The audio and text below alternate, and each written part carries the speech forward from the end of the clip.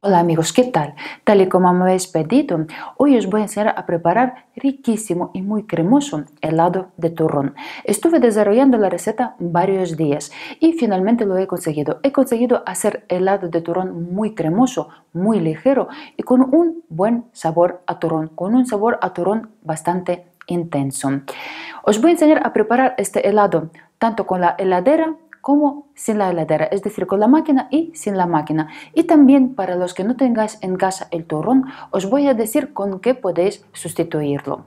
Antes de empezar con el vídeo, me gustaría pediros que si aún no os habéis suscrito a mi canal, suscríbanse por favor, sobre todo si os interesan recetas diferentes, trabajadas y ricas.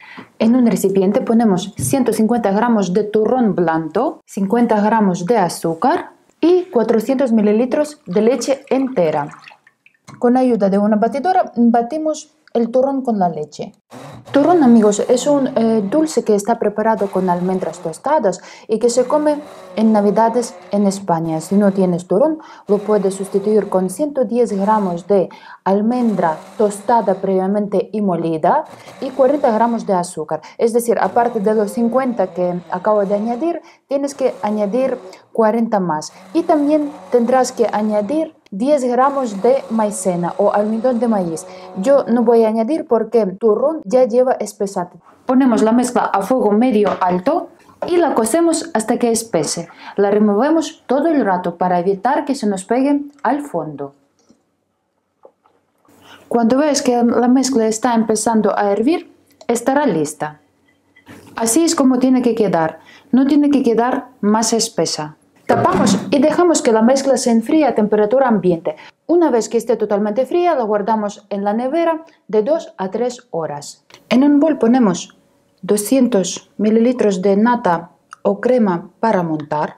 Recuerda que la nata tiene que estar fría para poder montarla. Debe haber pasado en la nevera al menos 2 horas. Y la montamos.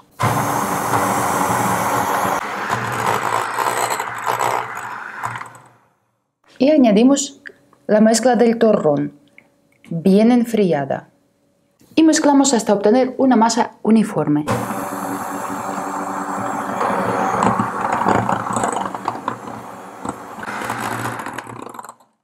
Pones la mezcla dentro del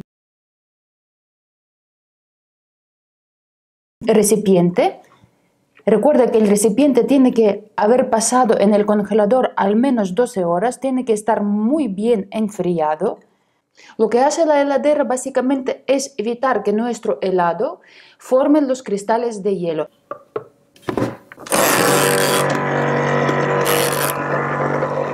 La ponemos unos 20-25 minutos para que se vaya haciendo.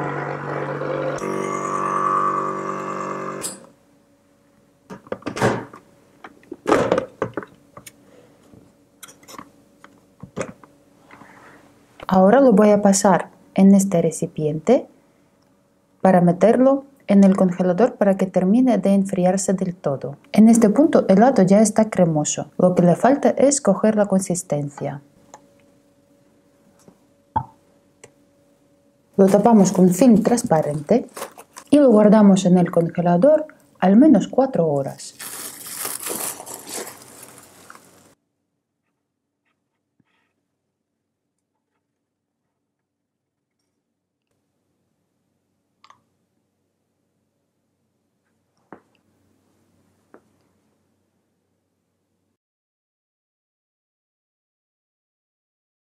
Tapa el bol con film transparente y guarda la mezcla en la nevera durante 30 minutos.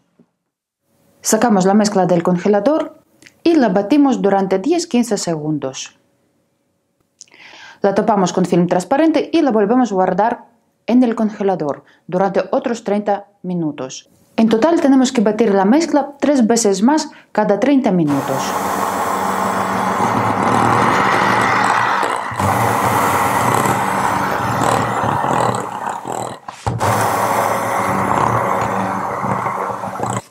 Guardamos el helado en el congelador unas 3 horas para que termine ya de hacerse y de enfriarse.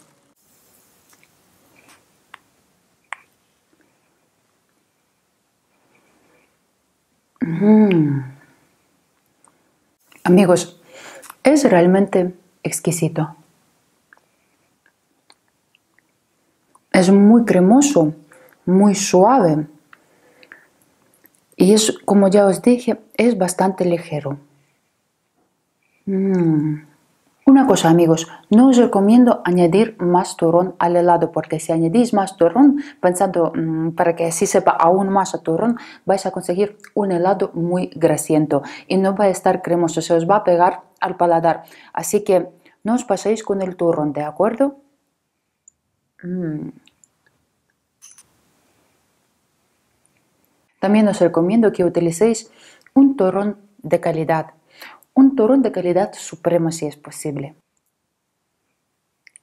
Este helado de turrón, amigos, es una de las propuestas para las fiestas que se acercan. Terminar la cena o la comida con una bolita pequeña de helado de turrón yo creo que es muy acertado. Cuéntenme en los comentarios qué tal os pareció la receta y cuídense mucho, ¿vale? Nos vemos en el próximo vídeo. ¡Chao!